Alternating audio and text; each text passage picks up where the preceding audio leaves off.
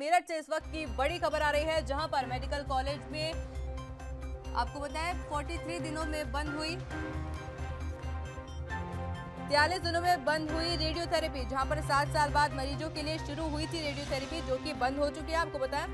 विकिरण अधिकारी रिटायर हो गए हैं और नए अफसर जो हैं अभी तक आए नहीं हैं, जिसमें मेडिकल में पैंतीस रुपए की रसीद पर मिलती थी सेवा, जो कि बाहर की अगर बात करें तो मेडिकल के बाहर डेढ़ लाख की जो है रेडियोथेरेपी की जा रही है। इस वक्त की बड़ी जानकारी अब तक पहुँचा रहे हैं सीधा मेरठ से, जहाँ मेडिकल कॉलेज में तिरालीस